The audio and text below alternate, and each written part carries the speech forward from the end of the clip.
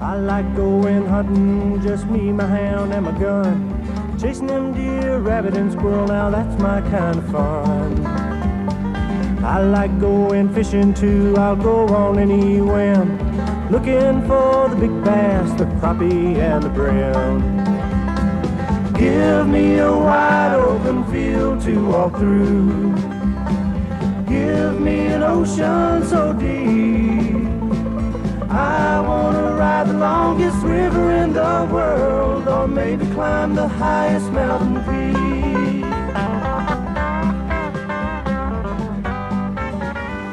Well, folks, uh, I'm out, out here in uh, the Gulf of Mexico. With my good buddy Jim Hawkins and uh, I mean, uh, Ray Hawkins, and what's Jim's last name here? Hanley, Jim Hanley. Yeah, Hanley, and uh, this is a new rig that's been put out from Mobile, and uh, I believe Jim has got a got one on right now. We're gonna do some fishing in and around uh, the rigs right here. Uh, we hope to catch some big king mackerels and uh, bonitas, uh, maybe a snapper or two, and uh, just about anything you catch on one of these offshore rigs.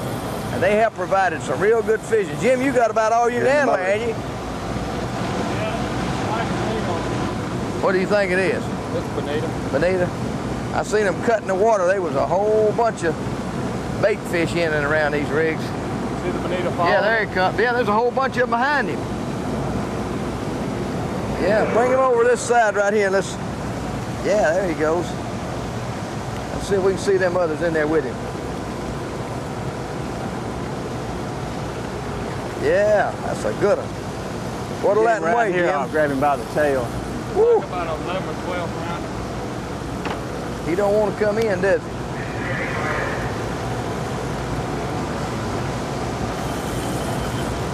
Boy, are they tough, aren't they? There he is. Boy, that took, Fine that bonita. took deep too. Look at them coming all around. They're all in the all in the behind the boat there. You got him, Jim? Let's hold him up and show the folks the characteristics of a bonita. Uh, they get a little bigger than this out here, but not much, don't they? What's the biggest you ever seen around these rigs? right? Rodeo record was, I think, 17 pounds. 17, so that's pretty good size bonita. Got these markings in here, and generally got some spots, but they're not showing up too much here, are they, Ray? No, they, Usually they four or five spots right in here, and there's a little line goes up there. Powerful swimmer. They have a, they look like a little tuna. Now these, it's really a false albacore. Uh, it's not a real edible fish, but some folks eat them, don't they, Ray? Yeah, it's not really a bonita at all. The, the true bonita is on the Atlantic coast. These are, like say, false albacore. They call, or they're properly they're little tunny is the real name for them. Uh huh. But um, they're they're a whole lot of fun to catch, and you. The one good thing about them is they're real cooperative. If there's nothing else is biting, which is you know the best thing. What, what we're trying to do is catch fish anyway. You can always just about catch a bonita, and the bonitas really pull better than better than a Oh, comparably sized king. fish. Yeah, Yeah. they pull Okay. it really good. Well, we'll see if we can get this see what else we can get. We catch us a king. Uh, what, now, Ray? What what is this deal out here? It looks like a great big old jack to me. All right, this is a drilling rig. They, they call this particular type of rig a jack-up rig, and the, the, it's obvious. You know, it's an obvious name for it. But you see the teeth on the corner of, it, of each of those three legs. Up at the top there, you notice a housing. Inside that housing, there's a cog that winds up and down on those teeth like a rack and pinion. What they do when they bring this thing out from off the coast, they, they push it out with push boats or tug it out with a tugboat. And this whole area above us is nothing but a, it's actually a, a barge. And it sits flat on the water and the legs will be raised up above it so that there's, you know, naturally so that it doesn't touch the bottom. Once they get, once they push the rig out to where they want it, then they'll, they'll stop it right where they figure they want to put it at and they'll start winding these legs down. And as these legs come down, once they touch the bottom, once they come out of the top of it and touch the bottom of the ocean, then it lifts this rig on up into the air. And they lift it, and this platform, they lift it high enough so that uh, no foul seas can wash over and possibly turn it over. There's, in real rough weather, it is possible for these things to turn over. Out in Louisiana, it happens occasionally. They've got a good many of them out there, and if they have some rough seas, if the seas do get high enough, and you'd be surprised how high they can get even in here.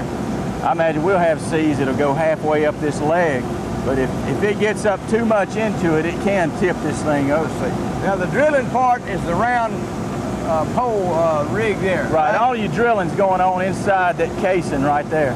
They're probably, there's no telling, tens of thousands of feet deep now drilling down through the core trying to get to the pocket of oil that they're looking for. What we're going to do here today, we're going to fish with, with uh, frozen cigar minnows, where they're thawed out now, but you buy them frozen in a box. We're working with about an 18 inch, 60 pound strand leader. It's probably, I think, seven strands in it. We use as dark a tackle as possible. All the terminal tackle you notice is black. Even the, even the crimps are black. The leader's black, and we use a bronze treble hook. We're fishing for mackerel. Mackerel hit anything shiny. Probably uh, Kings and Spanish, one of their favorite food is glass minnows. Well, everything down there is shiny, so they're going to hit something shiny.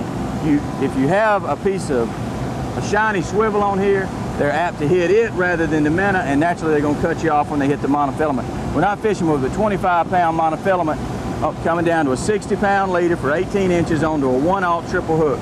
You notice we take the hook and just hook the minnow right through the bottom of the lip, right up through the top of the head between the eyes.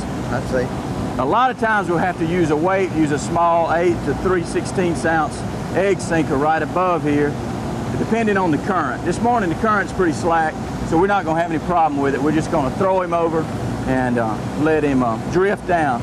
As he falls, if he drifts down through the water, he kind of seesaws back and forth, and before he gets several feet deep, something's going to nail him. Because these, these dead cigar minnows are like candy to these mackerel and bonitas. All right, Jim, what can we expect to be down here around these rigs now? What Y'all fish them out here and Right. you can just tell me uh, what, what kind of species you expect to catch around. Generally around these rigs, fishing with cigar minnows, you're going to catch cobia or ling, um, Spanish mackerel, king mackerel, or bonitas, and occasionally a shark, but not very often. There's, there aren't nearly as many sharks that you come in contact with as a lot of people believe. You, you usually don't. We, we usually don't encounter sharks. Now on deeper down, on deeper down here, we're in about 80 feet of water, and on the bottom there's a few grouper now and some snapper, some small bait fish, beeliner snapper and pinfish, and probably a good many amberjack, not to mention triggerfish.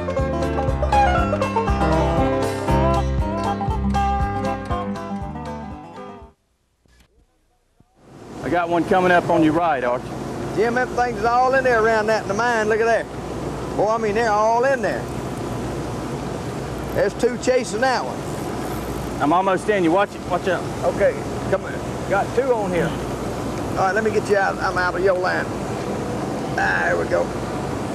Yeah. w- Good thing about them is once you get their head out of the water, they're whipped. Yeah, that's a good deal. Woo! Boy, these things can pull. He's got a bunch of buddies with him too. Yeah. Oh, that's a pretty fish. Beautiful fish. You about got him whipped? Yeah, here they come. Look at all them right there with him. Look at there.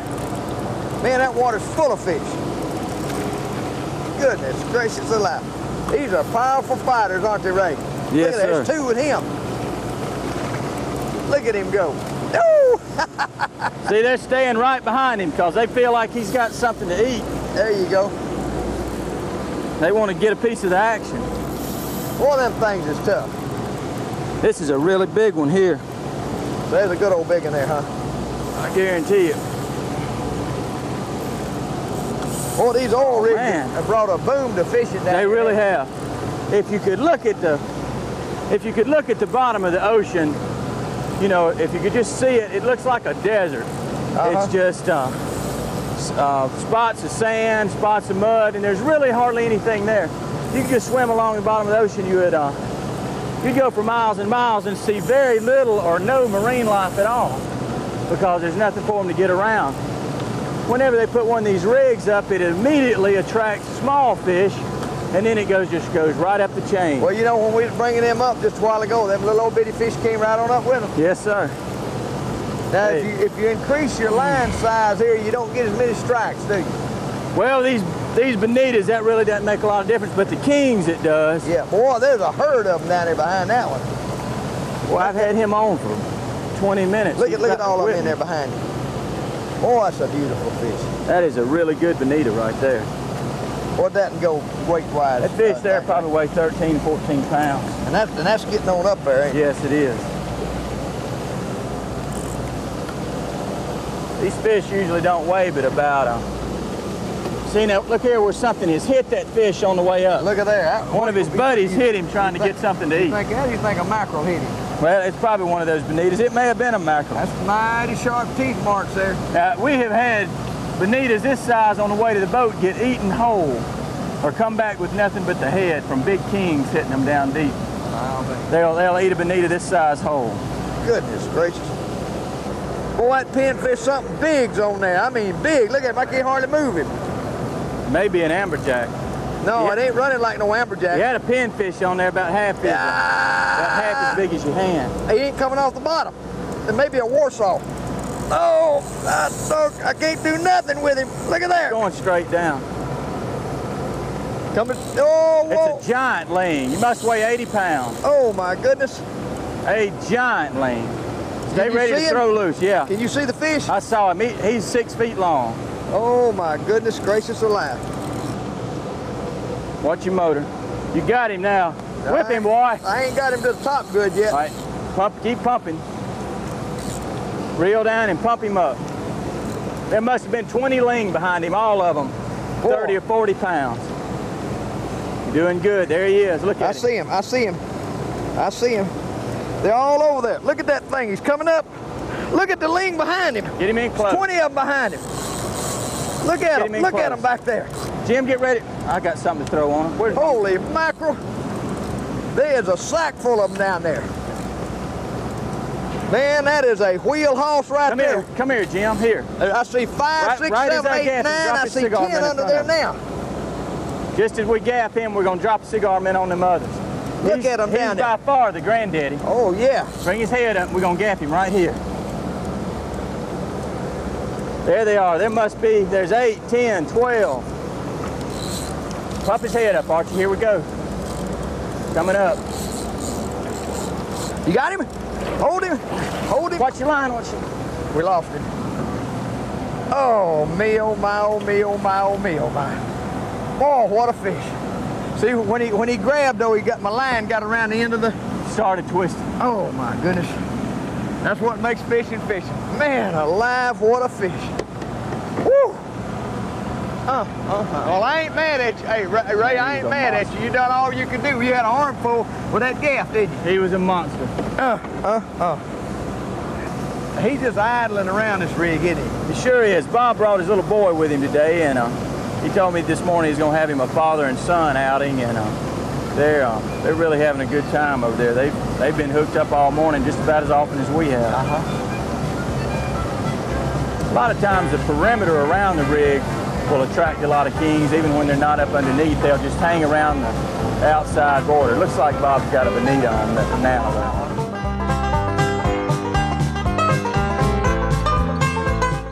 Bob, I cut me off a little old piece of, of cut bait there to put on there, and I done got a Spanish mackerel here. We can got him tied up in somebody else's line Got a buoy line. Let me see if I can get all this mess out of here. How in the world did I get him on there without him biting that line? He just, well, he got it right in the very tip, didn't Yeah. Look how he's bent the hook back down almost a full circle. he? Goodness He gracious. couldn't he couldn't have got off of there if he'd have wanted to. Well, now, what, what are exactly are we sitting on right here now? We're sitting on the Liberty ship, the the Anderson. They call it the Anderson wreck, the Anderson Reef. Edwards. Edwards, I'm sorry. Edwards, The uh-huh. Edwards. We're sitting on the Edwards, and uh, we're in uh, anywhere from well, we're in 91 feet of water, and the wreck wreck varies as much as 30 feet off the bottom, which it's just a uh, a man-made reef to attract fish for uh, for us to come out here and catch. You know, way back down 15, 20 years ago, a bunch of us got together and petitioned Congress. We had all them boats sitting up there in, uh, let me get a hold of them. I don't want to get on them teeth. Sitting up there in mothballs, and all we had to do was go get them. And uh, they was talking about cutting them up and all. I said, man, take them out there and dump them. We got a bunch of organizations together. We got them bring them out here and dump them. Now we're, this is some of the Reaping the benefits of it. Well, you see it all over. Bonitas have been just rolling in the water. There's all kind of bait fish on them. Uh, Bob over here just caught a uh, little snapper and cobia, just full of fish, isn't it? Yeah, it certainly is. We need we need a few more of them dumped. Yeah, a bunch of them. You must have a king. Oh, everybody on? I don't know what in the world nailed that thing. You still but got it? I believe that's a ling. I think you're probably right. Boy, that's a big old fish. I tell you what you have probably got is a king. You think I got Hit a that big on there? hardtail like that. Well, that was a it was a fine hardtail. He's acting just like there. a king. Huh? King will run out and lay dead and come back, and when he sees a boat, he'll go out of his mind. He went out of his mind on that first run. I couldn't even get anything, and I didn't dare Watch back up on that Let Eat drag. it while I help him. You got a gaff Oh thing yeah, on we're this ready. boat? We can get it, get him We up got here a with. gaff. You get him up here, and we'll have him. I want to see him first. I don't know what He's he still is. down. He must be 30, 40 feet deep. We can see 30 feet deep here. Yeah, I This can't. water's I so ain't clear. seen even a flash or anything. We should be seeing him shortly. I don't want to horse him. Still not seeing nothing. Uh, It, it's got uh-oh, to uh-oh, he There done it seen is. the boat. It's Can you good. see the fish? That's, I see it. I think it must be a king. It's silver. Kind of shiny. It's not a. It's not a. It's not a ling. It's you see the shi- s- silver sides on it. Yeah, Must be a big king mackerel. You don't reckon it's a Jack Crevalle, do you? No, it look. It would look green if it was a They don't jack. usually run out this deep. They usually They usually stay around the sandbars, clo- pretty close in, to the beach, two or three miles out. Boy, he's What you have got is a big king, I imagine. king mackerel. Yeah, that's what it is. He's kind of smoky looking. A nice king. You see him? Go, woo! Look at What that thing! king. You got a 40 pound king. Look what you out! got. Look out! Look at watch that motor! hold your phone. Hold your- Watch that motor! All right, Jim, move these rods to the other side. We're gonna need some room. Boy, he is a monster. Bob, we got your baby over here. We have got a There he 40 comes up, coming up. Wow! Look at that king mackerel. That's just what I say. They'll, they'll come up and when they see the boat, they lose their minds. But that is a monster That is king. a trophy You got any king. steel leader on yeah, I've got it's steel. That is a trophy king. People fish all summer and not catch a king like that. There he is. Good. There he is. Looking good. Just got him right on in. Oh, I I want to let him get tired. I don't want to. We don't want to green gaff him. Those king. And when we, when we get him gaffed, you need to just slide back because those teeth on those things are more dangerous than a loaded Oh, pistol. I know it. I know it. I know it. Boy, that's a here like got monster his hand right cut there. off last year. That is a monster. Golly! Whoa! Whoa! Look at that king mackerel. Holy mackerel. Look at that thing. what, what do they weigh, Ray? He'll probably weigh 40 pounds. Goodness 38. gracious alive. That is a beauty. Beautiful fish. Beautiful. Absolutely a fine king. And you just can't believe how many of them we've got this that this size like that. Three years ago, you wouldn't have thought about catching a king like this, like this size. But uh, it is fine. through some of the management associations, you, uh, the the kings have come back just at an unbelievable rate. I just hope that people don't take Hold advantage there. of Let's show them colors in that thing if you can. He's got he's got a uh, got a reddish cast to him, and he's got uh, he's got a little bit of everything in him, hasn't he? Green sir. on the back. Still got him okay? Yeah.